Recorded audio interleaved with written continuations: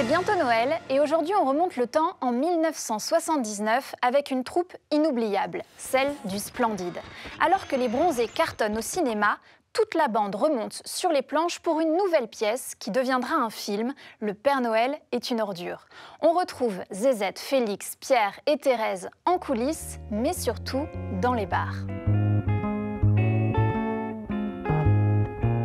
Alors expliquez-moi pourquoi vous avez quitté le Splendide pour venir au- à la Gaîté Montparnasse. Parce que on refusait du monde tous les soirs au Splendide. Ça nous fendait le cœur. Nous fans de Locor.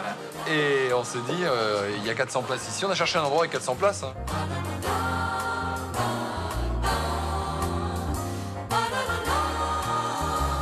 Anémone, euh, euh, vous faisiez pas partie de la troupe du Splendide avant? Ah non, mais j'en fais toujours pas partie, je suis une extra.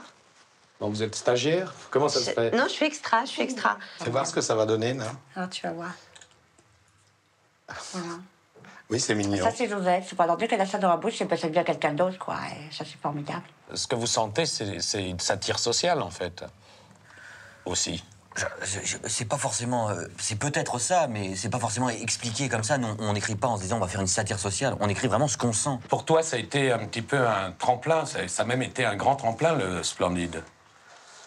Oh, bah, oui, enfin, un tremplin, euh, c'est pas fini, quoi. Alors, alors Alors Alors, vous êtes content Vous voulez encore un tabac ce soir Alors, combien, combien Alors, 45 de plus qu'hier. Ça monte.